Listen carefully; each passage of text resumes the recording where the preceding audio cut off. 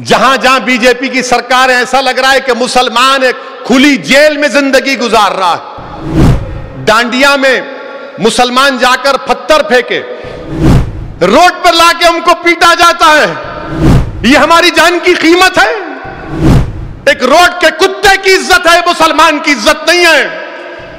मैं हूँ सानिया इद्रीसी, आप देख रहे हैं प्रहार टाइम्स। एमआईएम के प्रमुख असदुद्दीन ओवैसी किसी न किसी मामले को लेकर सुर्खियों में रहते हैं। अब इसी बीच ओवैसी ने भारत में मुसलमानों की हालत पर कुछ बयान दिया है। उन्होंने एक कार्यक्रम में देश में चल रहे मसलों पर चर्चा करते हुए देश के मुसलमानों की स्थिति भी ज़ाहिर की है। उन्होंने कहा कि रोड पे चलते हुए कुत्ते की भी इज़्ज़त है, लेकिन मुसलमानों की नहीं। मुसलमानों को लगातार सियासी हितों के नाम पर निशाना बनाया जाता है। सर्वे के नाम पर हमारे मदरसों पर प्रहार किया जा रहा है। आगे कहा कि देश में हर मुसलमानों पर अत्याचार हो रहा है। एक ऐसा मामला सामने आया था जिसमें कुछ मुस्लिम नौजवानों ने लोगों पर पत्थर फेंके थे, लेकिन पुलिस ने उन्हें खंबे से बांधकर बीच सड़क पर डंडे से पीटा। जब ये सब हो रहा था तो सरकार ने कोई लीगली एक्शन क्यों नहीं लिया? अगर वो गलती कर रहे थे तो उन्हें पुलिस स्टेशन लेकर जाते, लेकिन पुलिस अधिकारियों ने ऐसा नहीं किया। इस बात से नाराज़गी जताते हुए ओवैसी ने आगे और क्या कहा है, सुनिए। क्या हो रहा है हमारे देश में, उत्तर प्रदेश में? जहाँ जहाँ बीजेपी की सरकार है, ऐसा लग रहा है कि मुसलमान एक खुली जेल में ज़िंदगी गुजार रहा है। खुली जेल में ज़िंदगी गुजार रहा है। मदरसे को डेमोलिश कर दो। गुजरात में क्या हुआ, बताइए। गुजरात में यह कहा गया कि डांडिया में मुसलमान जाकर पत्थर फेंके। तो वहाँ की पुलिस ने मुसलमान नौजवानों को पकड़ा, बीच चौरस्ते पर लाए, एक पोल से बांधकर पूरा मजमा खड़ा हुआ है। करीब 300-400 लोग बैठे हुए हैं, इंतज़ार में बैठे हैं। और जैसे पुलिस वाला एक मुसलमान के पीठ पर लट मारता है, नारे लगा रहे हैं पूरे। नारे लगा रहे हैं। रोड पर लाके हमको पीटा जाता है। यह हमारी इज़्ज़त है। यह हमारी जान की कीमत है। बोलिए भारत के प्रधानमंत्री, मुँह तो खोलिए कि क्या आप गुजरात से आप आते हैं। आपके प्रदेश में जहाँ पर आप मुख्यमंत्री थे, वज़ीर आला थे, एक मुसलमान बच्चों को रोड पर लाकर पुलिस वाले लट से मारते हैं और पूरा मजमा थालियाँ मारता है, सीटी मारता है। क्या मेरी इज़्ज़त नहीं है? वीडियोग्राफी की जाती है लट से मारा जा रहा है, पीटा जा रहा है। क्यों कोर्ट को रखे? कोर्ट को बंद कर दो आप। क्यों पुलिस को रखे? पुलिस को भी खत्म कर दो।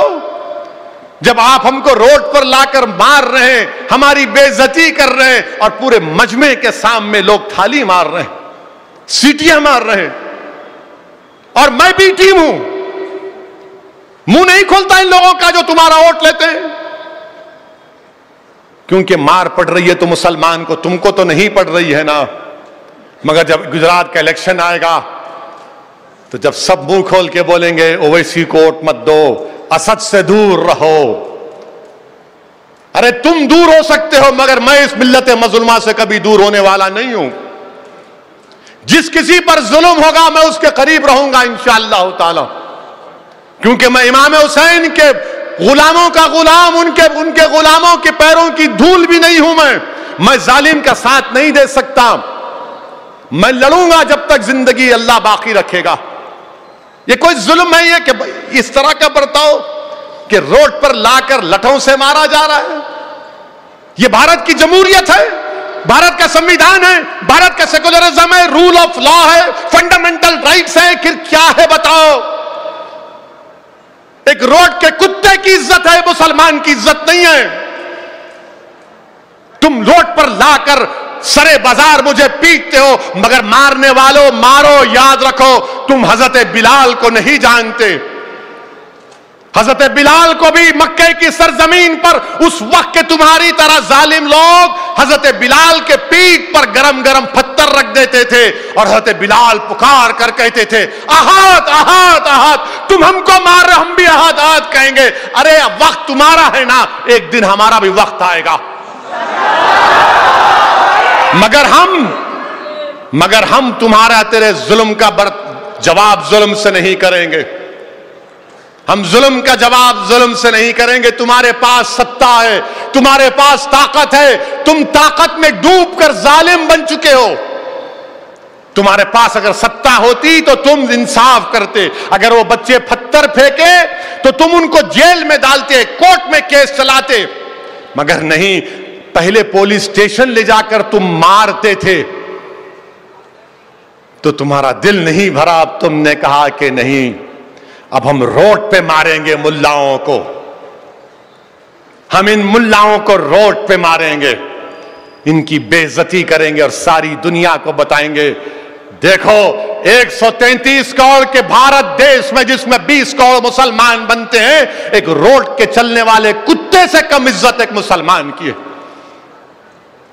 मेरे अज़ीज़ दोस्तों और बुज़ुर्गों, अब फैसला आपको करना है कि आप क्या करेंगे, कैसा इसका जवाब देंगे। मैं आपसे एक ही बात कह रहा हूँ तशद का जवाब तशद से नहीं होगा। वायलेंस का जवाब वायलेंस से नहीं, जुल्म का जवाब जुल्म से नहीं, जुल्म का जवाब इतिहाद से। जुल्म का जवाब सियासी ताकत से। जुल्म का जवाब जमहूरियत को मज़बूत करके, जुल्म का जवाब रूल ऑफ़ लॉ को मज़बूत करके और जुल्म देखकर अपने हौसलों को पस्त होने मत दो। हज़रत बिलाल को याद रखो।